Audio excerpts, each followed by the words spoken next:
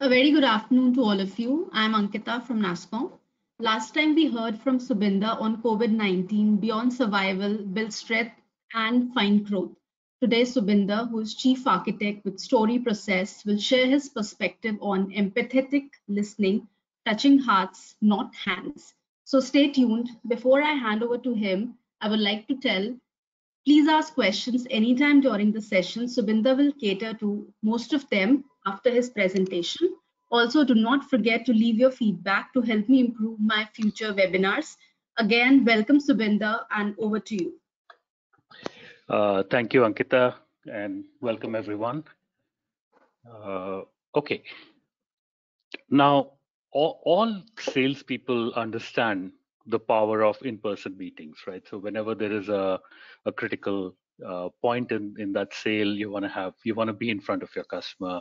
Whenever uh, there is a, a crisis, you want to be there, right? Uh, if it's a if it's a big enough client, you want to meet them regularly. So in-person meetings are very very powerful. We all understand that. Uh, but now we are in a different circumstance, right? and uh, what do we do to make sure that we up the empathy uh, i mean in all interactions but especially when it's when we're not in in uh, front of them is is there a way that we can structure uh, these interactions to uh, give us far more um, you know far far deeper connection with our customer and, and build empathy, which we all know is a critical part of building a relationship and, and selling.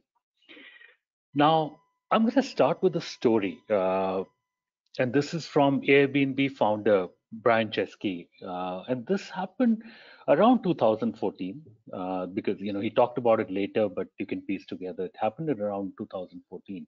And said, you know, we put up these flyers across San Francisco um, anonymously, saying we're seeking a traveler.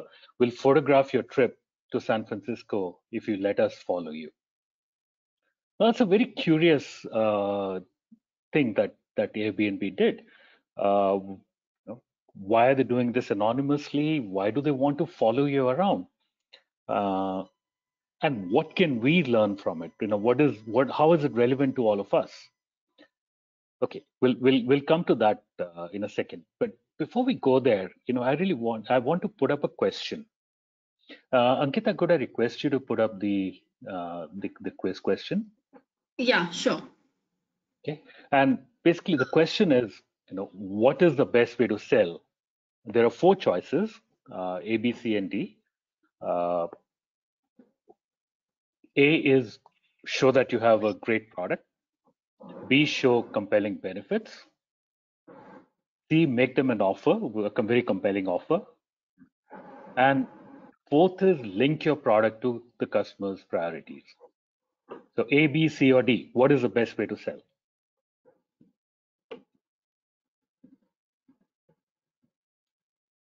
Please participate in the poll question. I'll end it in next two seconds. So here I'm closing the poll question and the answer is uh, Subinder 0% says show that you have a great product. 12% say uh, show compelling benefits. Uh, this one, second one. Fourth one, uh, third is 4% says make them an offer they can't refuse. And 84% says link your product to customers' priorities. Excellent. So uh, we have a very smart audience, right? The of course we want to link our product to customers' priorities, okay?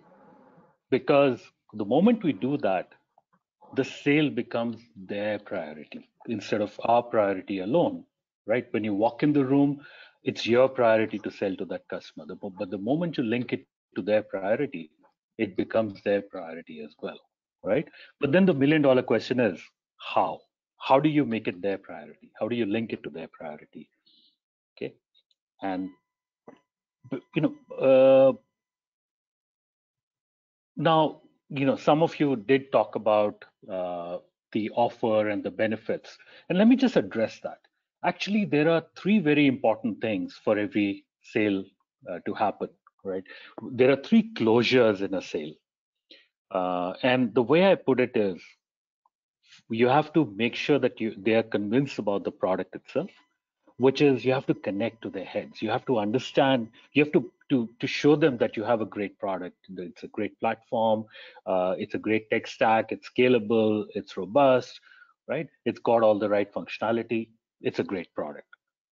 The second thing you have to convince them is it's got a great roi you have to close on their wallet. So you have to touch their brains you have to touch their wallet which is you know show them the, the the benefits and the ROI, right? That they will actually make more money after taking your product, right? But the most important piece where you have to close is their heart, right? Which is they have to want the product. Okay? So every sale requires three closures to the head, to the wallet, and to the heart.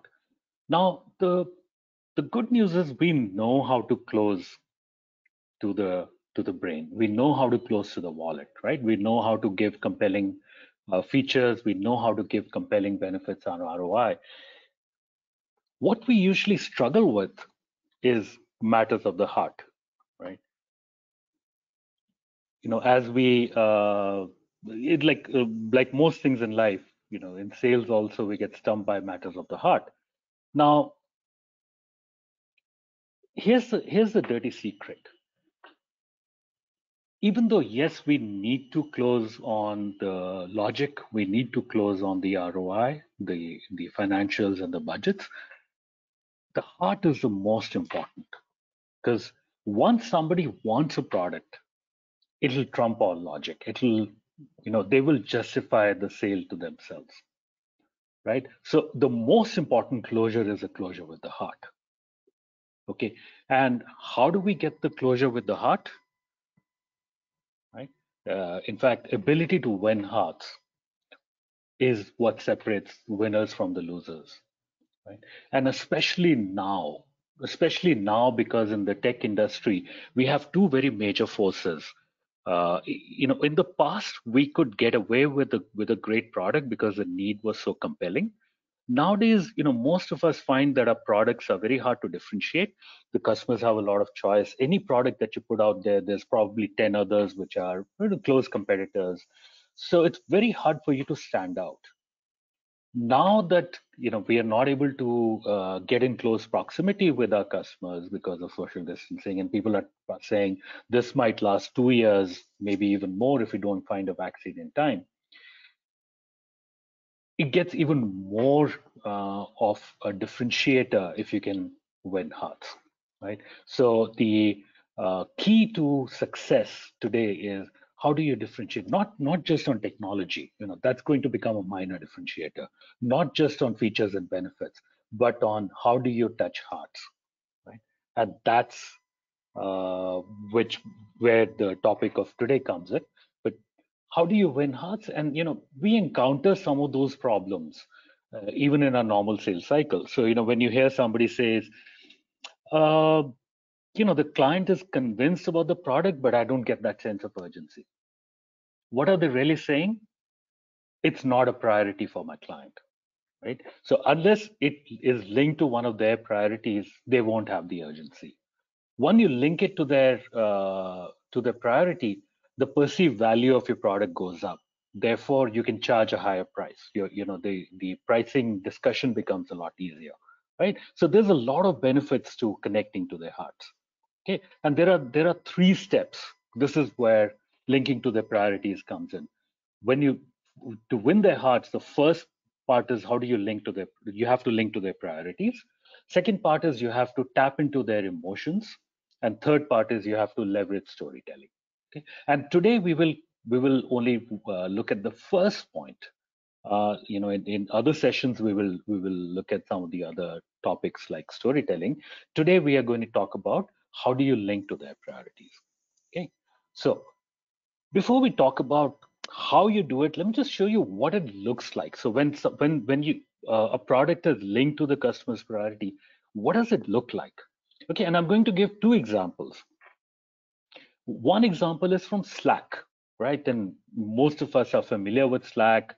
uh, you know have probably used the product uh, we know that it's it's a it's a very loved product in the industry it's uh, you know it's the, the the company has the distinction of uh, the fastest from uh, zero to a, a, unicorn status you know they they went to a, a, a in the b2b world the the the fastest growing enterprise product ever. They went from zero to unicorn in four years. Okay? And uh, what i have here is a quote from stuart butterfield who is the founder of slack. And stuart really understands the power of linking to others priorities linking to users priorities. And you know there's uh, other uh, quotes from from uh, Stuart as well on storytelling. You know, he talks about how if there was one thing he could go back and fix is he would he would uh, pay more attention to storytelling. But but that's uh, a topic for a different day.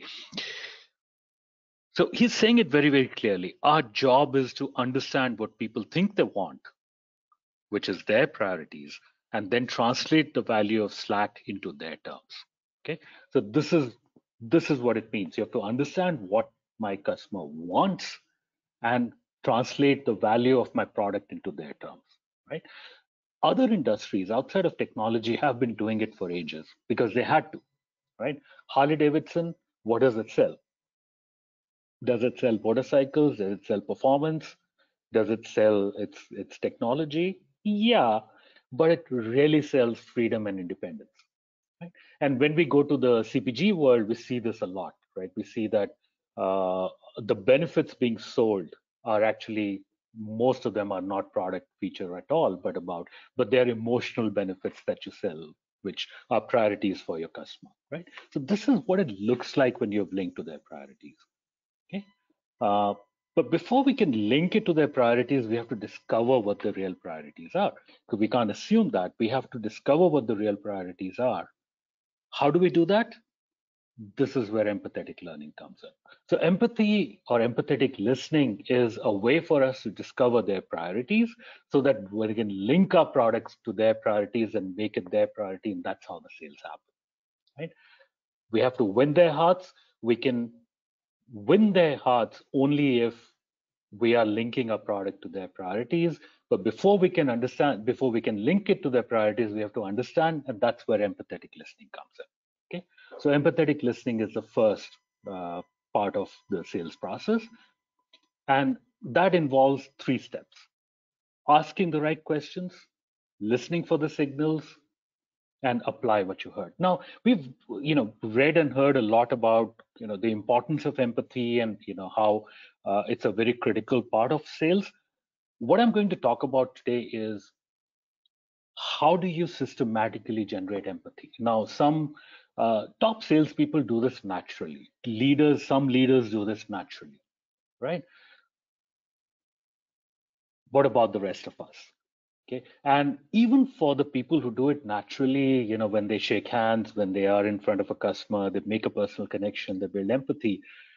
Something has changed for them, right? In the last month, they're not able to do that in person uh, connection anymore.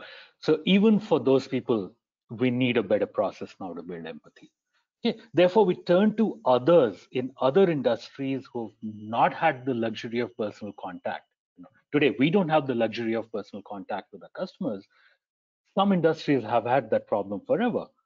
For example, Airbnb. So the story I was telling at the beginning, why did Airbnb offer to follow around a customer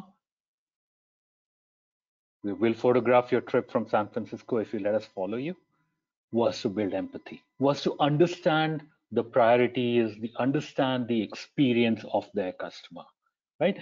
Didn't go to the easy way of saying, okay, fill up a survey form, right? Or ask them, what do you like about my product? What do you not like about my product? No, that's not the right way to do it. The right way to do it is you have to understand their world first. You have to understand their priorities first, whether or not they relate to your product. Okay, so how does that translate into actions for us? The step one I talked about, ask the right questions. Where do you start? So the first thing you got to do is you have to understand what is their major motivation. every one of us have our own motivations, our own goals, right? You have to understand that first.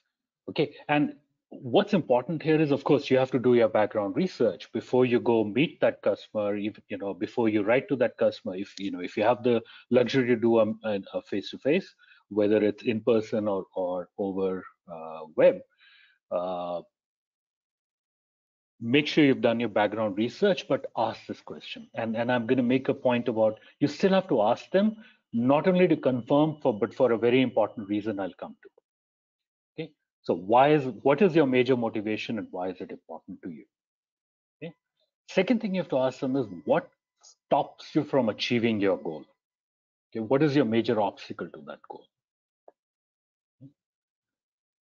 ask for specific examples you know so somebody might say you know i want to grow my business or i want to retain my customers not good enough you have to ask for specifics you have to ask for uh, examples you have to ask for details because you want to get specific.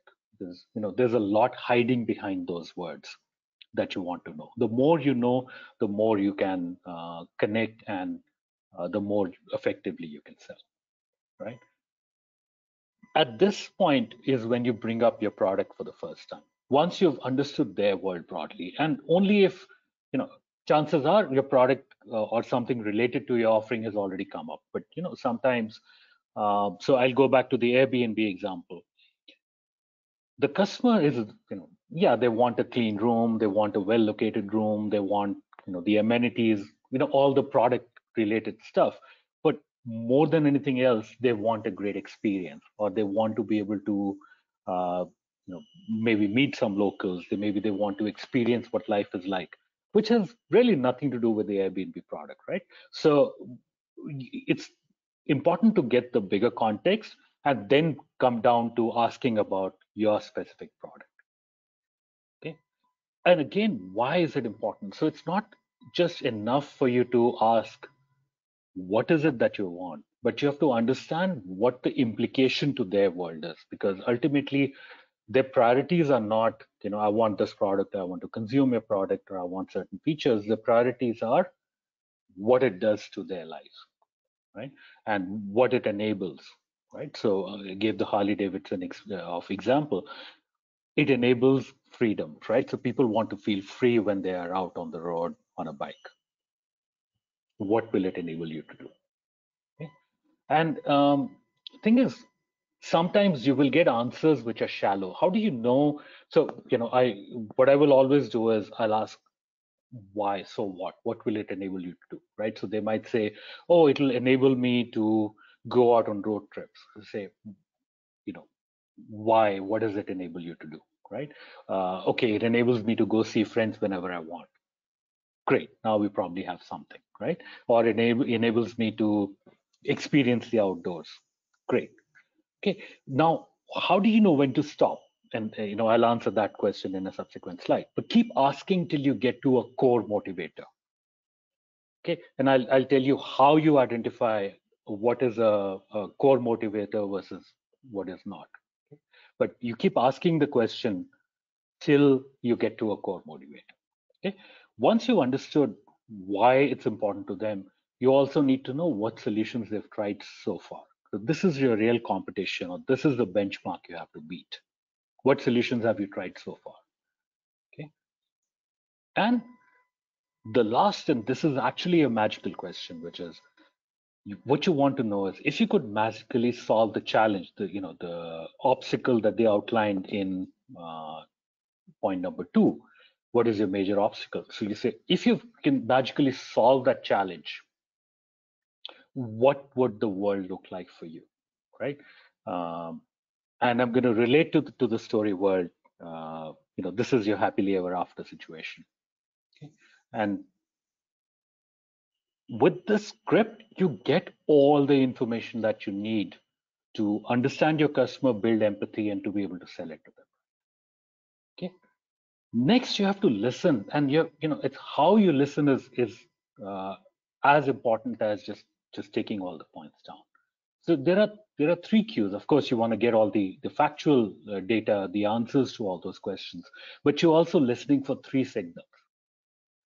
First, you want to get into specifics and implications. So don't make assumptions. You know, words mean different things to different people, and you want to get uh, into details on what that means. So freedom might mean something very different to me versus what it means to you. You have to understand, get into specifics, get into implications. Okay. Second thing is you have to record the keywords they use. So uh, this is a very important point. So for example, you know, if uh, I'm talking to a customer and they say, you know what, uh, I want a cost-effective solution, right? Should I be answering and saying, you know, my product has the best TCO? I'm saying the same thing, right? I'm saying cost-effective in a different way, but does it sound the same to the customer, right? Or if they say, you know, uh, we want something innovative, and I say, you know, we have the best cutting-edge solution. It's the same thing, innovative, cutting edge, same thing. What's the difference? The difference is that in their own minds, there is a very different emotional reaction to the words that they use. So uh, to them, innovation will have a far stronger emotional reaction than cutting edge or any other synonym of innovation. And the example I like to give is if you, you know, let's say you, you, you have your favorite song, right? And you try to whistle it out you play your favorite song, you whistle it out. What is the other person hearing? The other person is hearing probably some bad whistling, you know, assuming you're like me and not a very good whistler. You know, what they're hearing is some noise. What's playing in your head? What's playing in your head is a whole symphony. You, are hearing that whole, the whole orchestra. You're hearing the the words, the music, these the uh, the lyrics, everything right? You're you're enjoying the whole music, even though you've just you're just whistling a rough rendition of that song. Well, the reverse is also true. If you hear a snippet of that song somewhere, you're not hearing that snippet, you're hearing the whole music because your brain reconstructs it, right? The same thing is with keywords.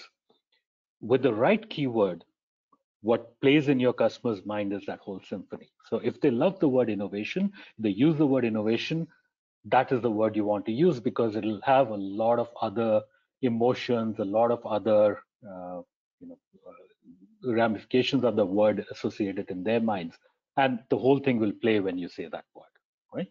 So it's important to record the keywords they use.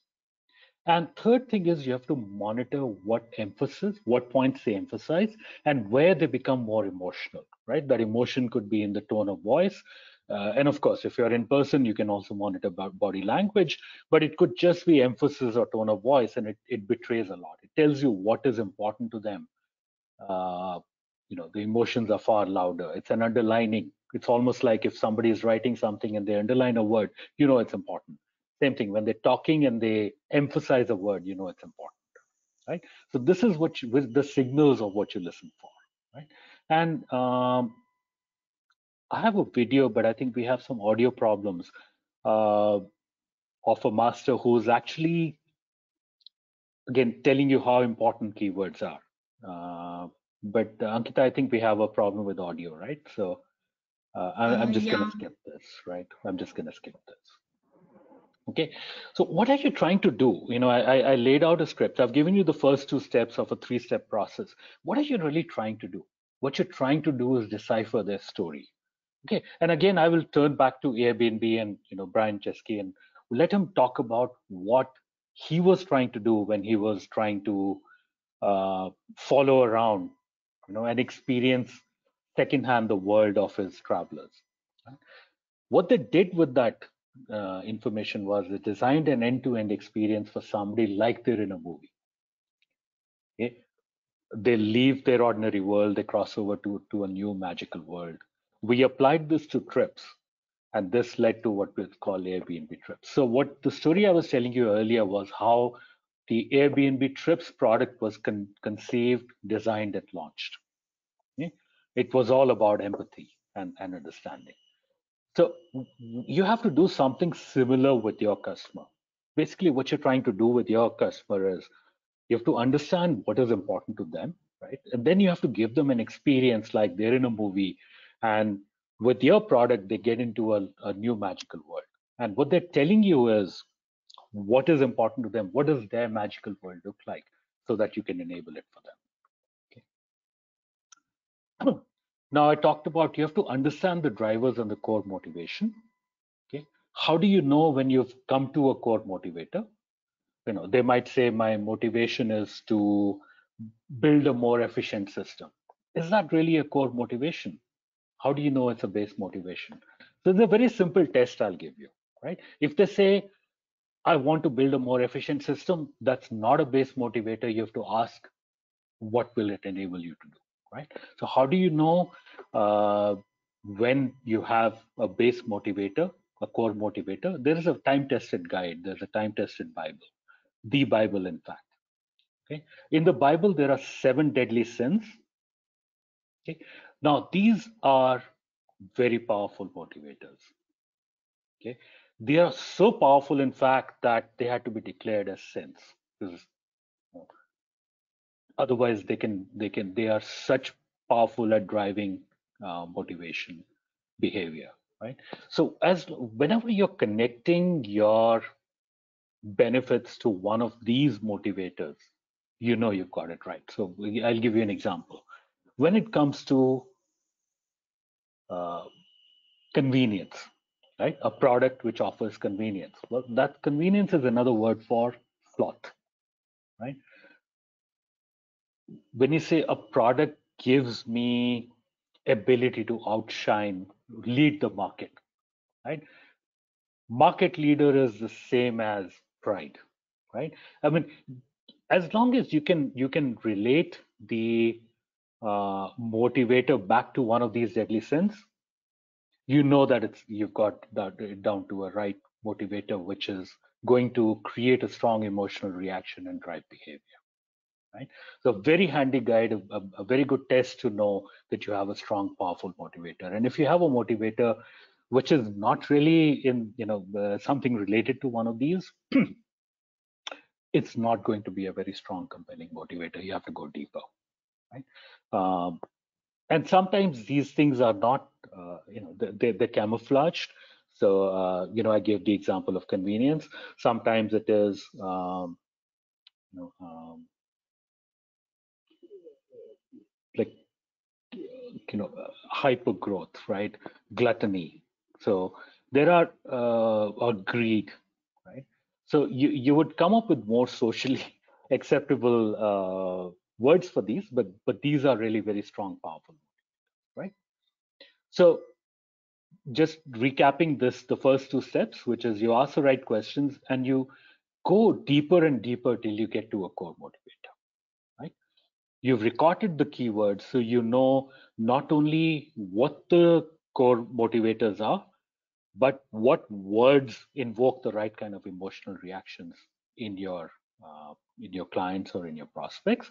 And you understand what is really important to them what does their happily ever after world look like which is the last question. Question number seven is if you could magically solve this challenge what would things like for you? Right? Now you're ready to present your solution because you have all the information it takes okay? you have to present a solution for the core challenge. So the you know i'm just going to go back here. What is the question number two? What is your major obstacle to achieving your dream? If your product can connect to that major obstacle now's the time to do it. So you say present it as a solution to that core challenge okay? Second thing is focus on what's important to them what's important to them using their keywords okay and the video i was going to play of tony robbins uh, was saying exactly this i mean he was giving a real estate example where he say uh, you know, somebody says, you know, I want a, a fabulous home and and the uh, you know don't say I've got a fantastic home. Say I've got a fabulous home. Same same concept. And third thing is you got to paint a picture for your customer, paint a picture for what things would look like with the solution, which is really, and they've already told you what that is, right? Which is the happily ever after. Right, uh, some technical difficulty here. So, okay, now that you've presented your solution,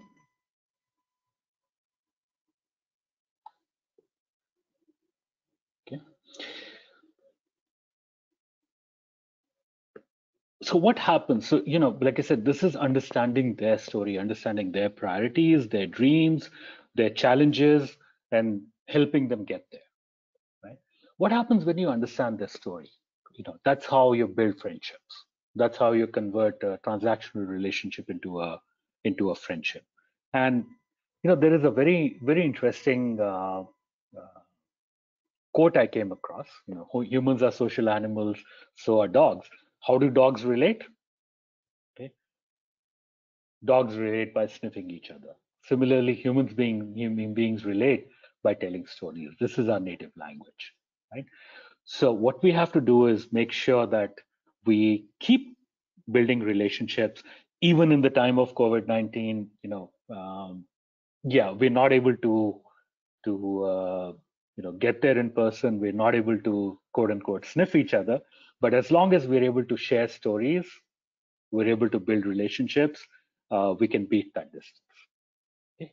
Uh, with that, I'll open it up to questions. And just one thing I would uh, request before that, uh, you know, uh, is there is, I'm going to share a link over here in the comments. Uh, this is a LinkedIn post where I would request, you know, please post your comments, your feedback, uh, any questions, a discussion, uh, your stories. Uh, you know, you can post it for not just for me, but for everybody's benefit. Okay, and I would love to hear from you you uh, you know sharing my email but that linkedin post is actually a better way because uh, you know, then we can share it with the community okay. uh, with that i'll i'll open it up to questions all right uh, thanks Subinder. so let's just begin the q&a round all right so the first question is by uh, the first question. Yeah, it is by Dr. Vinod. He's saying that uh, how ability win heart differentiate between winners and losers. Okay, so like I said, you have to win on three fronts, right? With with your product, you have to win on, of course, the product quality, which is your tech stack, your scalability, how robust your product is, so on and so forth. The product benefits, which is effectively the ROI that you're able to provide your customers, and the product, you know, you can call it empathy, you can call it empowerment, you can call it what it enables for your customer, right? Which is the winning heart. Now, all three have always been important. Okay, in any sale, you have to go through all three. Reality is always uh, the heart has been the more powerful motivator, except that in technology, we had the we had the luxury of being able to differentiate ourselves on technology. In the past, you could actually have a significantly superior product. Not anymore. Today, you know, the most products are differentiated only on their positioning, only on things like the ease of use or or their their, uh, you know how well they integrate into the customer's environment or how well they enable the customer, the ecosystem, right? Uh, and and we kind of see that already most of the winners i mean you know the classic example is uh, an iphone won not because it was a technically superior product mean, the, that couldn't justify the price difference. But because of all the, the, whole ecosystem the app store or the music ecosystem that came along with it right? So it's it's really about how do you win you know uh, how do you link to the customer's priorities and win their hearts? And i think we we're tending to what the you know cpg industry has always had. Most products are differentiated only on the emotional benefits right? Uh, where we have lagged in the tech industry so far is we've ignored the emotional benefits. We've kind of had that come out accidentally. Either the customers themselves close the gap or you know our, our star salespeople did that. Uh, now we need to do that systematically right? So the companies who learn how to do this systematically in their product design, in their product development, in their marketing, in their sales, all of the customer touch points, will systematically win over companies who don't. Next, please. All right, thanks, Subinder. The next question is by Webher. He's saying, for example, if two competitors are pitching with same empathy, touching with their hearts, in, in that case, who will win the customer? So whoever hits closer to home, right? So like I said, all three are important. And ultimately, you know, the uh, so first of all, whoever links their product best to the customer's priorities, right? Um, meaning they have to they have to make sure that the customer feels like they will win a special advantage of, from using this product. Okay, and it's highly unlikely that two companies will have a similar proposition at that level right? It, it, could be something as simple as, I mean, you might have very, very similar functionalities, but one company is, uh, let's say, more focused on the customer's vertical than others. Then that company has an advantage because for the customer, you know, I want to deal with a specialist. I want to deal with somebody who's more meant for me, right? Because everybody believes they're different, they're unique, they're special. Uh, right? Having said that, yes, your product uh, quality is still very, very important. You have to back up that promise with your product, right? But the, the quality of the promise is going to be made, made in the emotional benefit or the empathy, not in the product quality. Product quality will come later. The emotional connect will come first. Next question, please. Yeah, uh, Nagarjan has a question for you. Um, isn't it difficult in general for people to communicate details? What if demos and discussions are steered by customers to know over letting us know their motivations, etc.? Okay, I'm not very clear what the question is, but it sounds like you're saying, well, if the customer starts to control the agenda, what do I do? Okay, here's the here's a secret everybody loves to talk about themselves. Everybody loves to talk about their priorities, their goals, their challenges, their difficulties. So it's usually not very difficult to prompt a question, uh, prompt a discussion, which is about them, right? The problem is that most of us, when we're selling, get in our own way in the sense that, like I said, everybody loves to talk about themselves, including us. And that's where the problem starts, right? So the thing is, don't get in your own way in the sense that if a customer is talking about what's important to them, don't interrupt. Let them talk about it, right? What you don't want to do is try to get back on agenda with uh, a particular feature set or a particular demo that you had in mind. If the customer says start, right? What you want to do is very quickly get to a point where you're able to ask a question about what's important, right? So, and it, it's it's you have to go in prepared. You have to go in understanding a little bit. You know today the the benefit we have is uh, you can look up anybody on linkedin. Most companies have a lot of uh, information that's publicly shared. Their priorities are publicly shared. So it's very easy to prompt a question about what is important to your company right now what is important to you right now right? Even if you refer to one of you know you have a person in there you refer to one of their recent posts I mean, how many people will say, no, I'm not going to talk about my own you know my own post what i really like and i'm going to tell you to first talk about your product. Very rarely would it happen. So usually it's the other way around. Usually it is that the customer keeps talking about themselves and they may not get around to talking about your product. I think that's the fear most salespeople have. Okay? Okay.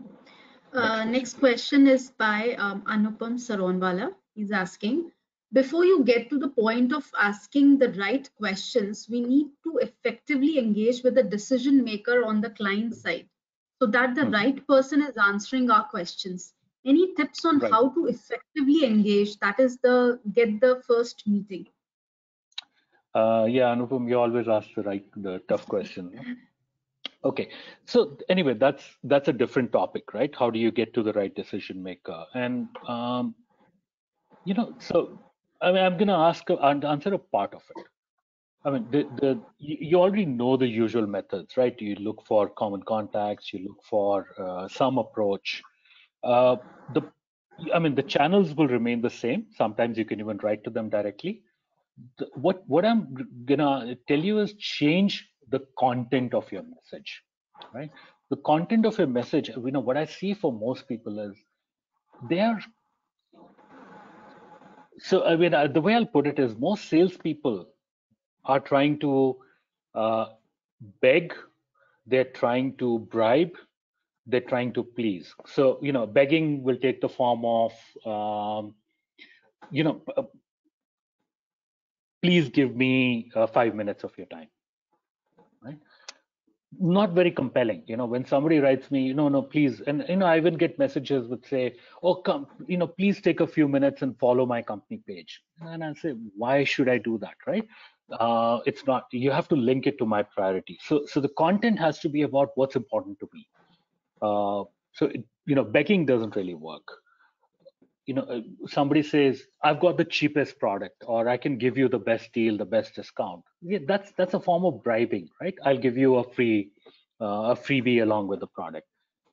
You know that can work later in the conversation when we're getting into establishing the value or closing the sale the negotiation but it will never get somebody interested. Uh, the the third form it takes is you know some sort of flattery right? Or something as simple as, you know, I, I hope you're doing very well today. You know, when a stranger says that, my first um, reaction or my first thought is, what do they want from me, right?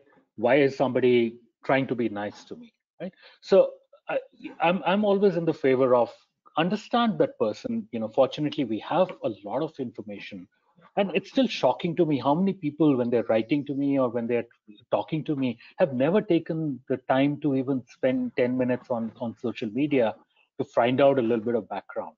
Um, right? So do a little bit of homework understand what the other person's all about try to link to their priorities.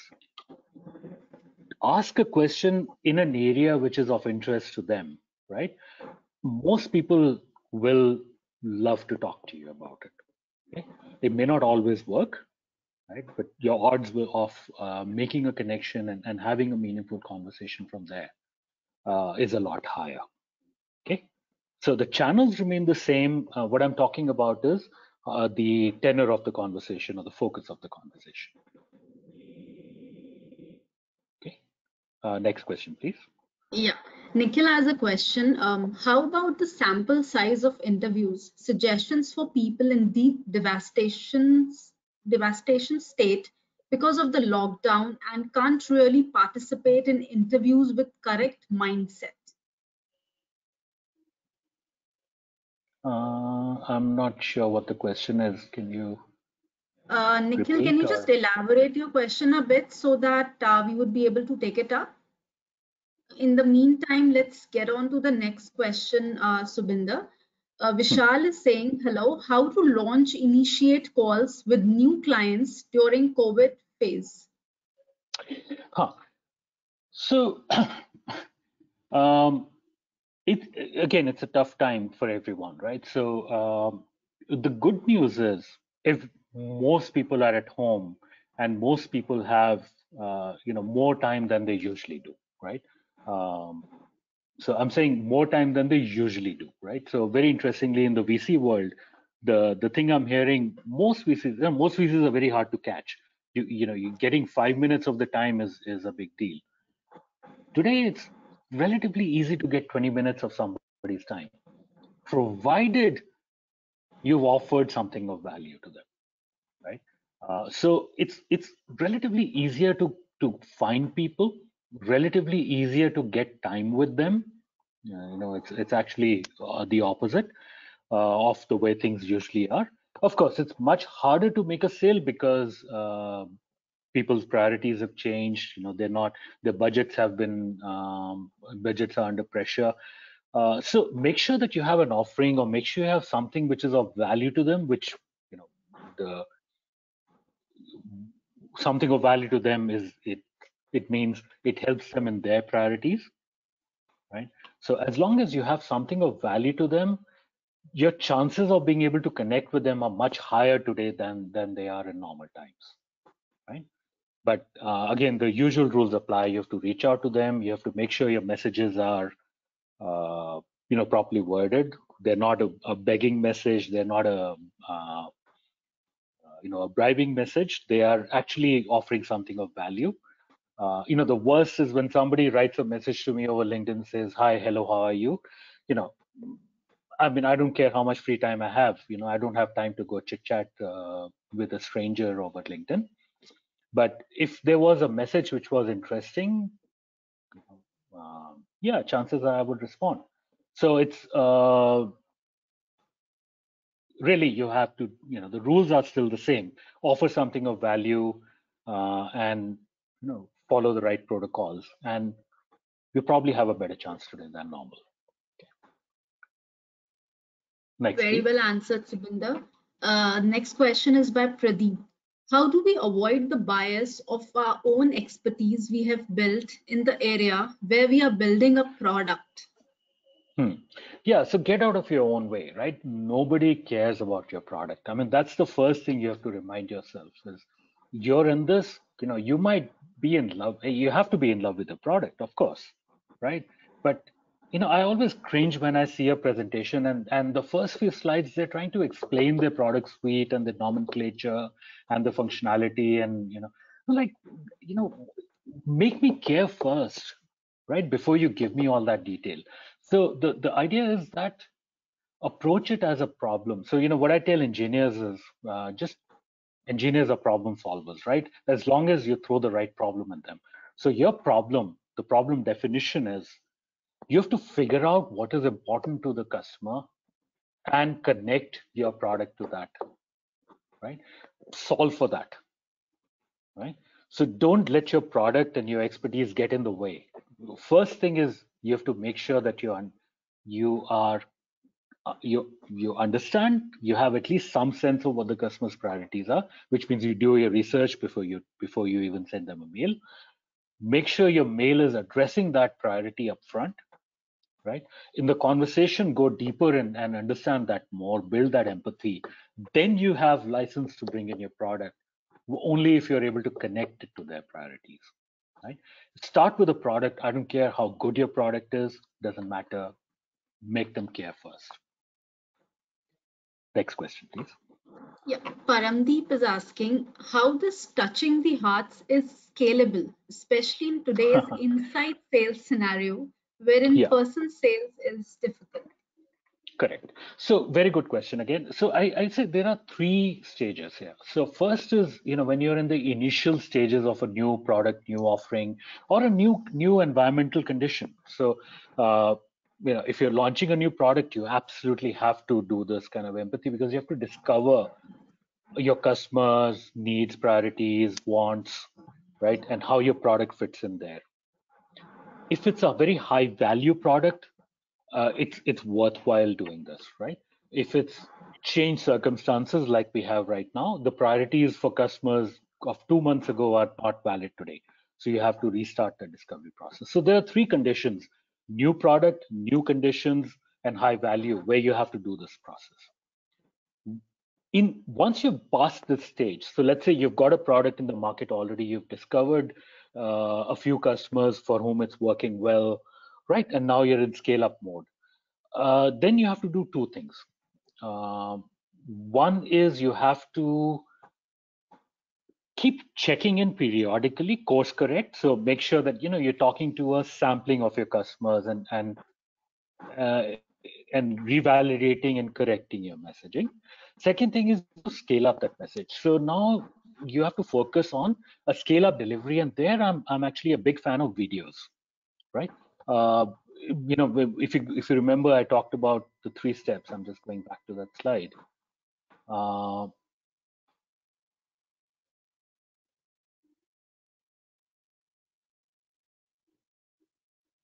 okay, so you first is you have to link to their priorities. What is what we have talked about in this session. Second thing is now you have to understand their emotions, tap into them, and leverage visual storytelling. Right? You have to uh, tell stories with all your collateral, with your product, with your website, with all your messaging, and especially leveraging videos because you know videos like movies uh, can touch hearts much more powerfully. In fact, a good video is uh, more powerful than a face-to-face. Just like a good movie can create an emotional reaction, which is way beyond, you know, any any uh, other form of storytelling, right? Uh, so that's how you scale up. Once, but obviously that only works if once you've understood what their priorities are, and you understood how to tap into their emotions, right? Uh, at that point, you can scale up through storytelling, especially videos. Next question, please. Uh, Rajiv is saying, thank you for a great session. You mentioned a point on asking right questions. How do we Yeah. achieve when the meeting have the set agendas and you're meeting your client for the first time? So again, I say, you know, even if there's a set agenda, there will be a question, right? Uh, there will be a discussion, there will be some introduction, right? So let's say, let's say a typical meeting, how does it start? They will do a quick round of introductions, right? Best time to talk about, you know, somebody says, you know, I am head of marketing. So you say, okay, what is your marketing agenda for the year? What are your marketing priorities for the year? What are your biggest challenges right now? Right?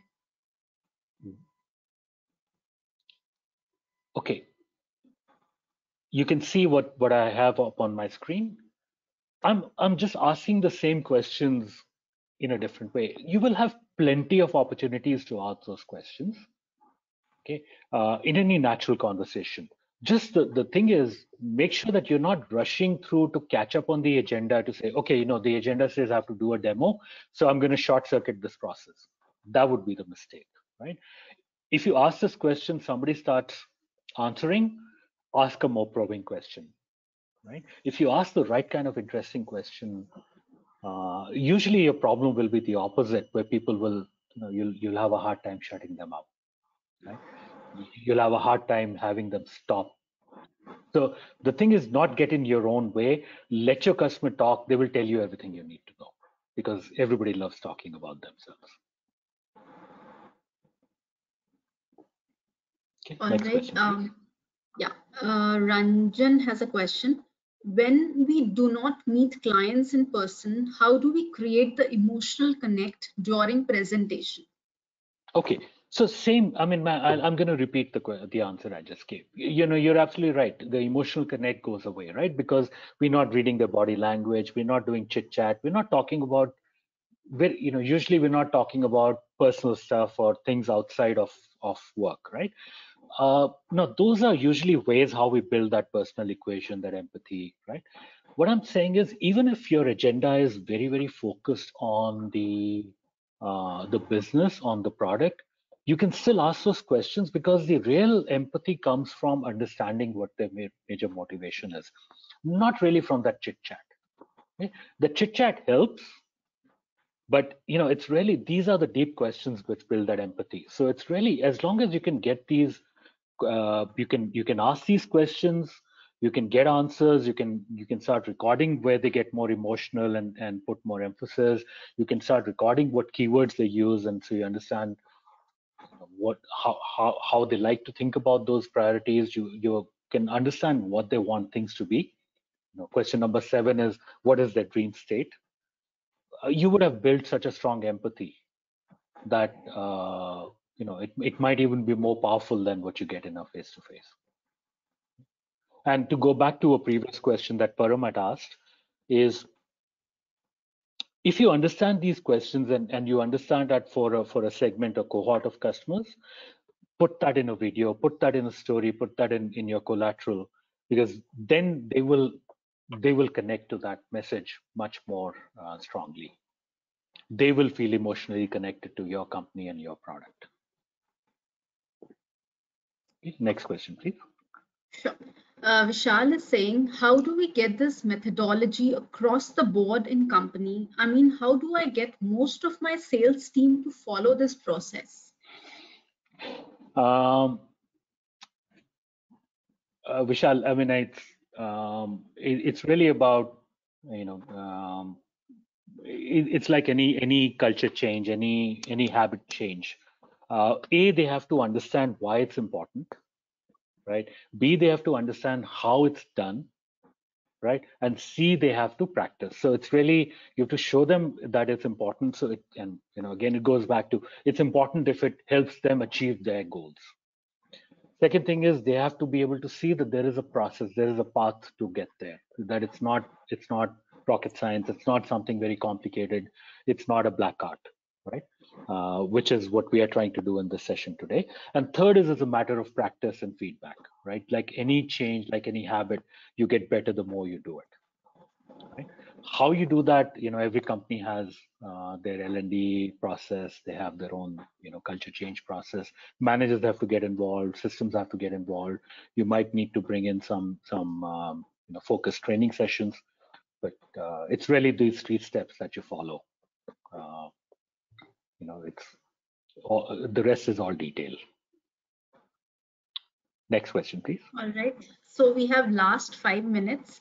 Uh, so the next question is by Ashwin. He's saying, what strat strategy works when in the first call, customer asks for pricing without a meaningful first conversation? Share the pricing first. If it falls in range, then we'll schedule a call. Okay, that's a tough one. So, you know, uh, I would say two things here. One is that, um, and, and, and it's, it's one of two scenarios. One is that most of us, and, and that includes our customers, right? Most of us uh, like to get to the the points that we can compare and measure, right? So you know, there's this uh, very wise saying: not everything that's important can be measured, and not everything that that can be measured is important. Uh, you know, price is like that. So price is something which is very easy for me to relate and compare you know as opposed to let's say quality of a product or as opposed to you know how that product fits uh, you know, I would dodge that question. If I was you, I would dodge that question, and I would I would actually turn that back and say, let's understand the price will depend on uh, exactly what we do for you. So let's understand a little bit more about you before we, you know, we will give you the pricing. We will ensure that you get a very good ROI on it, but we need to understand a little more context before we can give you a an accurate price. You know, that's that's the best way to handle that question. There are some customers who are you know who will insist right um, not every customer is worth pursuing you know there are customers who are cheapers there are customers who are just in it for the sport of it. They're not really serious customers. Um, those are customers i would fire anyways right? So my personal view is uh, you should have that conversation you know try to bring them to value try to bring them to understanding the context uh, without you know or, or before getting to the price question. If they resist if they keep coming back to that question probably not a customer you want anyways right? Uh, if, you, if you feel like it send them a price sheet and then just wait for them to come back. But you know reality is what would they do with that price sheet if they don't have the, the full context okay? Now there is one exception to this rule. One exception is if your product or your offering is a commodity and or it's perceived as a commodity by the customer. Okay, if that is the case, then you have to work elsewhere. You have to first fix that problem. What you have is a is a is a marketing problem, a positioning problem, or a, a product definition problem.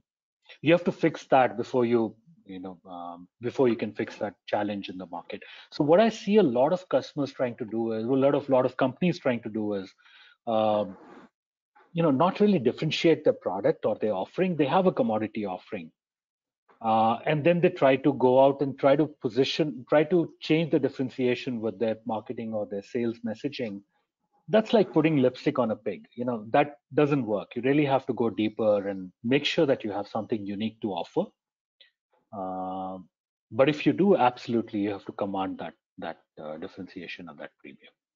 Okay. Next Very question. well answered, Subinder. Uh, so this would be the last question uh, from Lalit we will take up, uh, keeping the time limit in mind. considering economic implications of COVID-19, would being an empathetic listener mean being more open to understanding human difficulties and expecting lesser in sales numbers? Okay, so no, I think that's a that's a wrong conflation. So there are three things you're saying in this, and and you're kind of conflating all three in one, and and I don't agree with that. So the first thing is you're saying, okay, in difficult times you have to be an empathetic listener, and that's absolutely true. But I'll say, you know, you have to be an empathetic listener in, in all times. You know, when times are good, uh, even when uh, your uh, competitors are, or sorry, your customers are looking to grow, they're, they're seeing a boom time, you still have to have empathy, right? It's just that they have a different set of considerations, a different set of challenges. So empathy always, right? Second part is uh, when in that situation, you have to uh, take their difficulties into account. Uh, again, you know, I'll say always, right? I mean, it's just the nature of the difficulties changes. In a good times, uh, they they you know they could have uh, uh, issues with with servicing demand. They could have issues with quality of their production because you know there's so much uh, you know the, they have to grow faster. They maybe they're not finding enough talent or the right quality people. I mean, whatever the challenges are, you know, we always have challenges, right? This is the nature of those challenges changes. The third point is that you're saying, therefore, we have to expect less sales. Um, you know what? I'm seeing some companies actually grow their sales. And I'm not just talking about companies like Zoom.